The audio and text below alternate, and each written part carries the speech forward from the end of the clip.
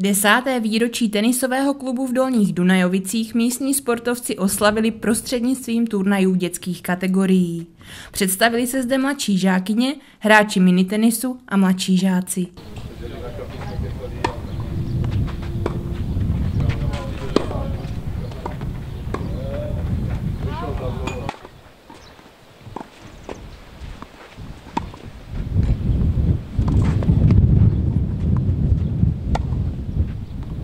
Dneska celý den, den hrajeme tři, tři turnaje, začali jsme ráno v 9 hodin staršíma žákyněma, tam, tam jsme to udělali tak, že měli jsme jich šest, tak hrál každý s každý, nebo každá s každou na jeden vítězný set, takže každá odehrála pět setů.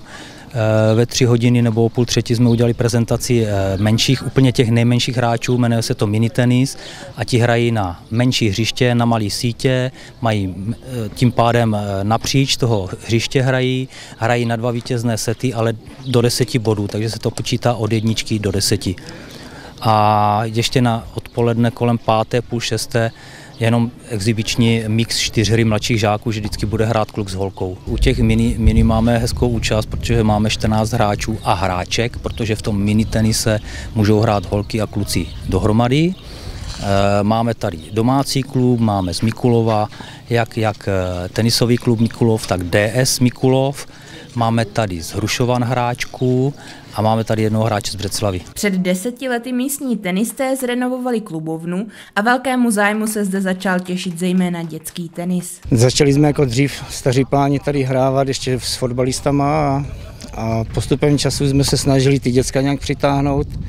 Postavili jsme tady nový, novou svoji vlastní klubovnu z nějakých dotačních peněz, obecních peněz, co nám pomohli všichni a, a tak se snažíme s tím nějak naložit, aby bylo vidět, že něco děláme. No. Teď velkou podporu máme v tom panu Brichtovi, který nám tady trénuje ty naše dětské kategorie a, a vlastně dneska mají takový svůj nějaký turnaj. Tady máme 35 dětek, které hrají s náma tady jako mají tréninky každý týden a, a jezdí na kempy svoje a, a tak nějak prostě hrají. No. Baví je to, tak asi snad je to dobře.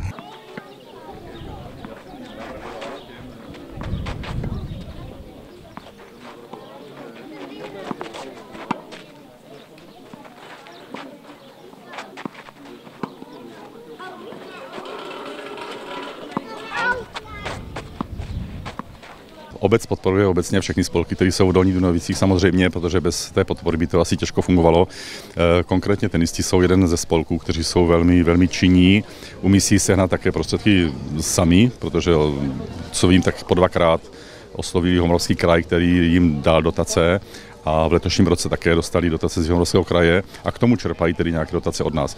Takže my podporujeme spolky pro to, aby mohly fungovat. Oni nám to vrací v tom, že fungují dobře a že nám tady řeší tu kulturní část nebo tu, ten kulturní život té obcí, že nám pomáhají řešit. Každý spolek potřebuje, aby mu rostl ten, ta základna nějaká právě v těch dětech, aby se to budovali.